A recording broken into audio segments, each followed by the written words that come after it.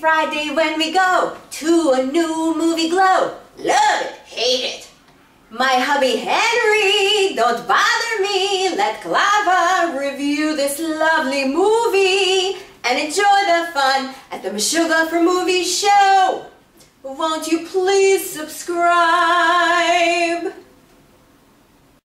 I just finished watching an episode of I Love Lucy where Lucy dresses up like a hillbilly and goes hunting for bears in the bedroom. Now there's a real Meshuga.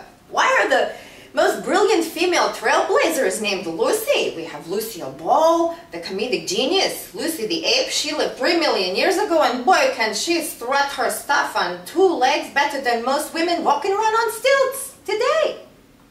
And then we have Lucy, the student slash unlocks the capacity of the brain never before explored.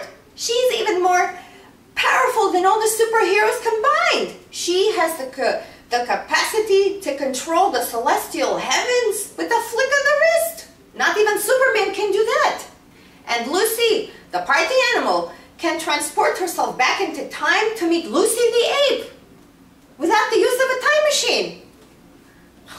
I wonder if prehistoric hanging fruit tasted better.